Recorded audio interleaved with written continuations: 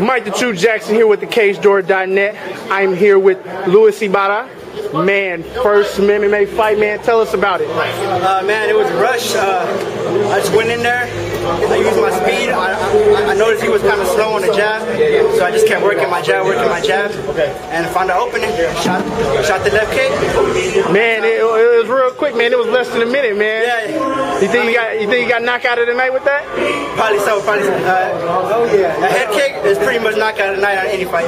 Man, so what's next for you, man? You getting back in the cage? Oh yeah, yeah, definitely. Uh, gotta say thanks to my team, Paradigm, Tim, Brian, Mike, everybody over there. I know, man. You got so much going on right now. I know you can't think of everybody's Yeah. name, man. But uh, that's it. Next, I'll find whoever they give me next. All right, congratulations, man. All right.